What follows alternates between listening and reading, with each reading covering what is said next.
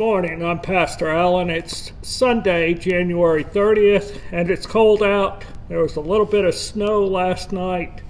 The uh, parking lot is snow covered, but it doesn't seem to be too slippery.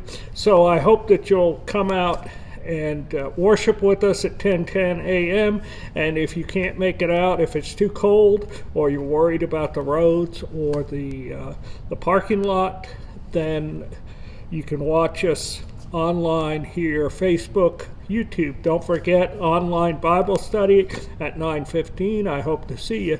Today's message, we're continuing our message series from Genesis called Beginnings. And today we are looking at Noah builds an ark.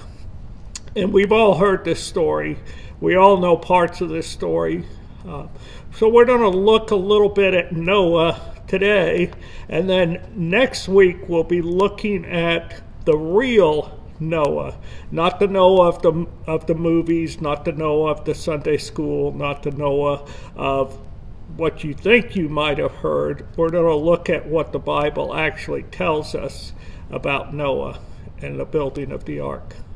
And so I hope that you'll come out and join us either in person or online and we'll see why Noah builds an ark today and what that means for us because there's several several good lessons for us in it today and I know you won't want to miss it so I hope to see you and don't forget to invite a friend and don't forget to share this message and the message at, from our worship service today.